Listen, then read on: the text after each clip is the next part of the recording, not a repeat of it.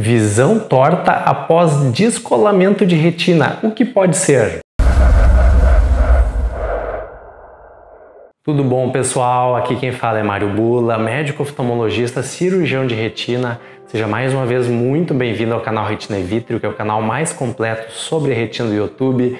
Aproveite para deixar o like, inscrever-se no canal e também comentários a respeito da área da retina. No dia de hoje, inclusive, nós vamos aproveitar um comentário extremamente interessante feito por um seguidor que questiona que fez uma cirurgia para descolamento de retina, está com a retina colada, mas está com a visão torta, a visão distorcida. O que pode ser isto? Relembrando, visão torta é um sintoma que nós chamamos de metamorfopsia e ele não é algo tão raro. Existem várias doenças na retina que podem levar à metamorfopsia, inclusive muitas situações que não têm nada a ver com o descolamento de retina, como por exemplo uma degeneração macular relacionada à idade, que é uma doença que afeta a área macular, a área principal da visão em pessoas a partir de uma certa idade e que pode causar neovasos, com um consequente inchaço da retina, ou seja, são vasinhos anormais que crescem embaixo da retina e acabam causando um edema da mácula. Isto causa a visão distorcida, além de prejudicar a visão, causar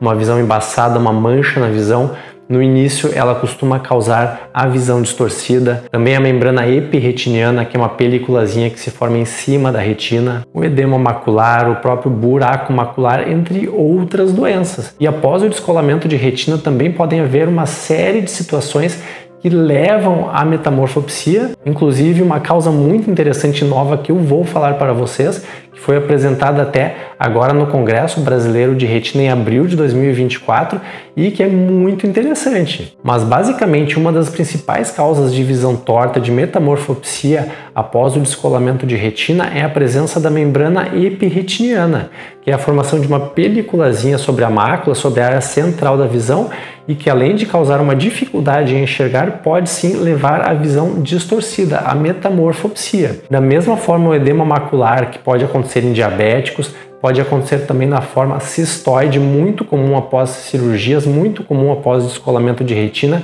que é um inchaço da área macular, pode causar não apenas uma dificuldade em enxergar, mas também pode levar à visão distorcida. Alguns pacientes, após terem um descolamento de retina, podem também apresentar o buraco macular, que é uma falhazinha bem no centro da visão, e da mesma forma como a membrana epirretiniana, este buraco macular pode necessitar de cirurgia, onde é feita uma membranectomia, é retirada uma pequena membraninha que existe em cima da retina, colocado gás dentro do olho, e aí nós conseguimos em muitas situações o fechamento do buraco macular com a diminuição da metamorfopsia. O edema macular que eu falei antes pode ser tratado às vezes com colírios, anti-inflamatórios, corticoides. Às vezes o edema macular cistoide pode ser tratado também uma aplicação de Osurdex, que é um implante de liberação lenta de dexametasona feito dentro do olho. E uma causa muito interessante que foi apresentada agora recentemente ocorre em pacientes onde no exame aparentemente está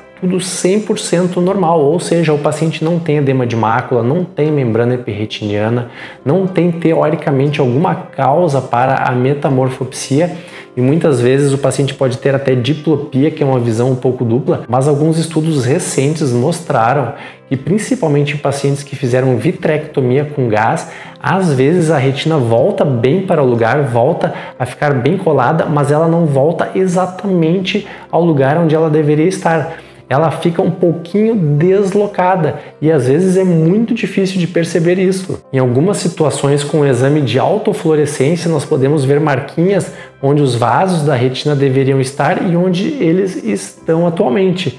É uma coisa que é difícil de ser evitada porque nós nem sabíamos que existia isso antigamente e somente com os exames modernos é que isso foi descoberto. Mas olhando as imagens dos exames é uma coisa muito interessante. Em vez da retina estar localizada exatamente onde ela estava antes, é possível ver que os vasos estão um pouquinho deslocados, como se uma imagem estivesse sobreposta à outra de forma um pouco deslocada. Isto é sim uma causa não apenas de metamorfopsia, mas a pessoa pode perceber a imagem de um tamanho diferente, às vezes pode até ver a imagem no local errado como se estivesse com a visão dupla. De qualquer forma, a presença de metamorfopsia não é algo raro após um descolamento de retina e existem muitas situações como as que eu falei antes, tipo membrana epirretiniana ou edema macular, que podem ser tratadas.